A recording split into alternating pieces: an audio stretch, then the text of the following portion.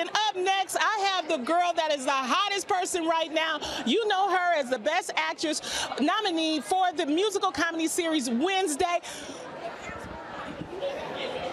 Jenna Ortega, ladies and gentlemen. Hello. First of all, let's talk about this outfit. All right, it's Gucci, and I'm wearing Tiffany jewelry. You look amazing, and congratulations on your success from Wednesday. Can you believe that this show took off the way it did? No. I still kind of can. It's it's a bit strange, but I'm I'm just glad that people we spent so much time on the show and worked really hard on it. So if anybody has re- received any sort of joy or happy feeling from it, that makes me very happy. And you know, you are part of this Latino group that have been nominated this year for the awards. How exciting is it to be part of that, you know, group?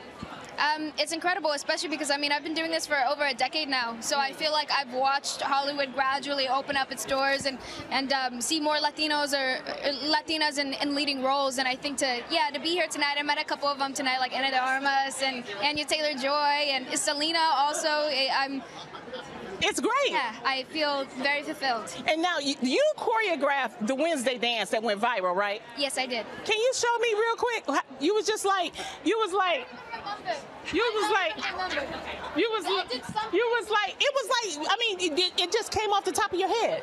Uh, I, yeah, the, I just did a lot of research. I watched a lot of videos and pulled a lot of inspiration, and then it came to be. You know what? You are going to go so far. I love the show. Keep doing your thing, and you're representing so well for all of us. I love you. Thank you so much. I appreciate it. I don't know why I said I love you, but I do. I'll take it. I love you too. Have a good night. you too. Have fun.